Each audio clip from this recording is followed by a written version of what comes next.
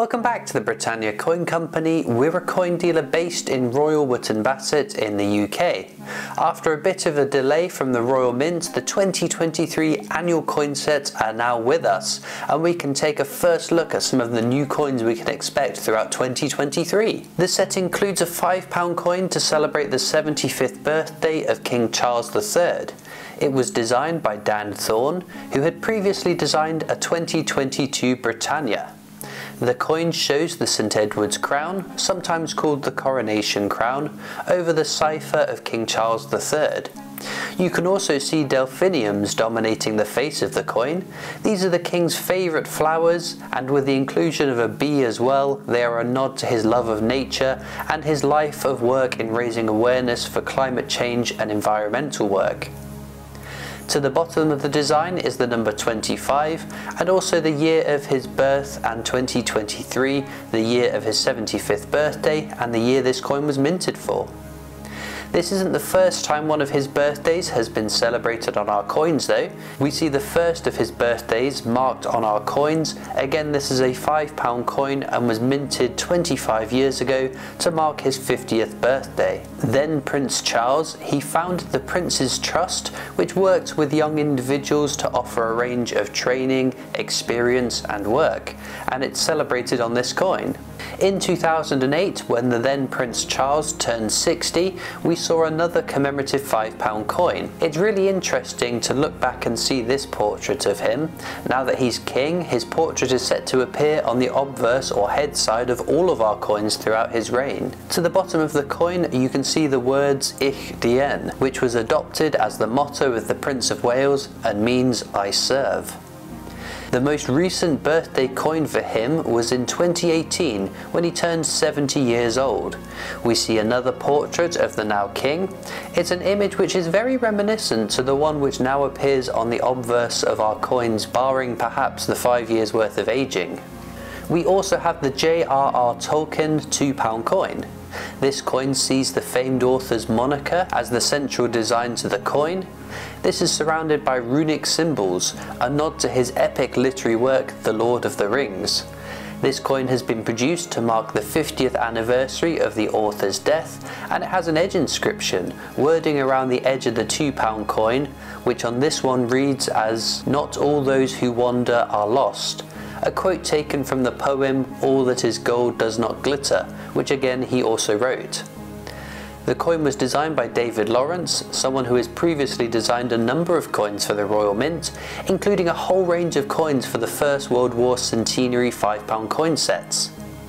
J.R.R. Tolkien now joins other literary figures on our coins, such as Charles Dickens, Agatha Christie, H.G. Wells, and Sir Arthur Conan Doyle to name a few, who have had coins minted in their honour. The other £2 coin included in this set was this one. It was created by John Bergdahl, one of the most prolific modern coin designers who regularly works with the Royal Mint. His designs have graced many of our coins, covering multiple denominations, coins for circulation, and those for collectors too. This coin celebrates the centenary of the Flying Scotsman, a revolutionary train which is the oldest serving locomotive still in use. Again there is an edge inscription on this coin, which much like all other £2 coins is unique to this design, and it reads, live for the journey. All the coins in this set will have their own individual releases throughout the year, and this one has just come out. This also highlighted something really special about this coin. As you can see, the coin in the silver proof annual set comes without colour, whereas the varying releases for its own individual launch sees the Silverproof feature colour elements, not something that has happened all that often on a £2 coin. It also means that so far, the only way to get this coin in silver proof without colour on it was by buying the silver proof annual coin set, which could make this a rather tricky variant of the coin to get your hands on. Moving on we have the first 50p coin from this set, and it was designed by Valda Jackson to celebrate the 75th anniversary of the Windrush generation. We can see a couple stood before the Union flag with the number 75 to the left of the design. Interestingly, the designer Valda Jackson's parents came to work in Britain as part of the Windrush generation. The Windrush generation were people who relocated to Britain from their homes across the Commonwealth after the Second World War. They have played a key role in shaping our culture and diverse country which we enjoy living in today. The name Windrush was taken from the HMT Empire Windrush, a transport ship which brought the first people to Britain from Jamaica. What is also very exciting about this coin is that it's the only one that we know of so far which has been earmarked to go into circulation. This was on the suggestion of the Windrush Commemoration Committee, so if all goes to plan, this is one that you'll be able to find in your change sometime this year. It isn't guaranteed though, as the Alan Turing 50p in 2022 was also earmarked to be minted for circulation, but the death of Her late Majesty Queen Elizabeth II and the production of a memorial 50p for circulation may have filled the desired needs for circulating 50p coins. That's also not to say that any of the other coins in this set won't go into circulation. I'm sure many of us have our fingers crossed that all go into circulation. The final coin in this set is another 50 pence coin. This one to mark the 75th anniversary of the National Health Service, or NHS. The coin is the work of Alice Ledyard, who similar to Valda Jackson hadn't designed artwork for a UK coin before. She chose to make use of words that represent the NHS across the design and stretching past the canvas of the coin to signify the ongoing work this great institution provides us all throughout our lives. This isn't the first time the NHS has been honoured on our coins, having had a 50 pence coin minted and circulated back in 1998 to celebrate its 50th anniversary then. It was established in 1948 by Labour Minister of Health Aneurin Bevan and has become one of our most admired institutions the world over, providing healthcare free at the point of service for all. In 2018 and 2019, there was also a collection of commemorative 10 pence coins minted for collectors and small quantities for circulation too. Each letter of the alphabet was used to display something quintessentially British, from A for Angel of the North to Z for Zebra Crossing. The letter N was created to represent the NHS, with a stethoscope wound around the letter N.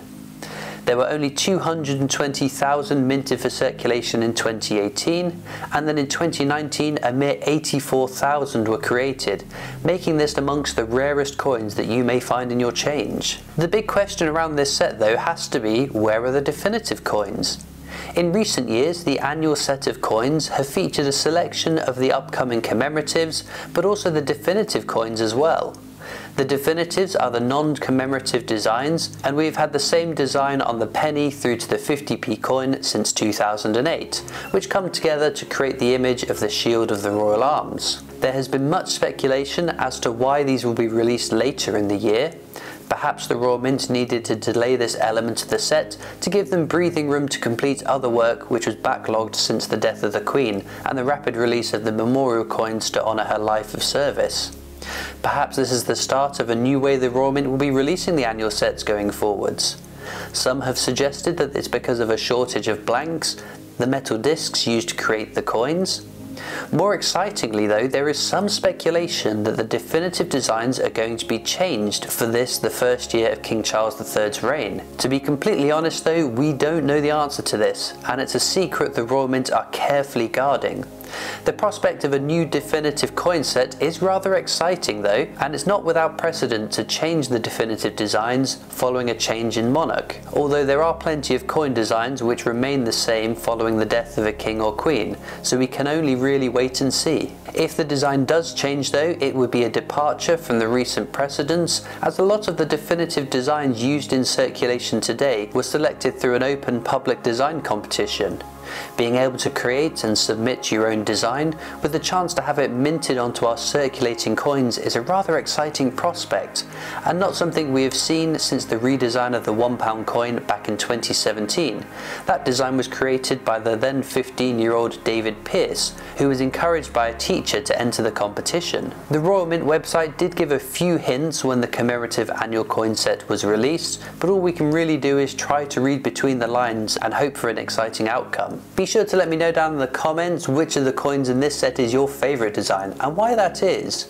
I'd also love to know what you are hoping is going to be happening with the definitive coin designs later in the year too. There's also links down in the description of the video to the coins which we've featured today.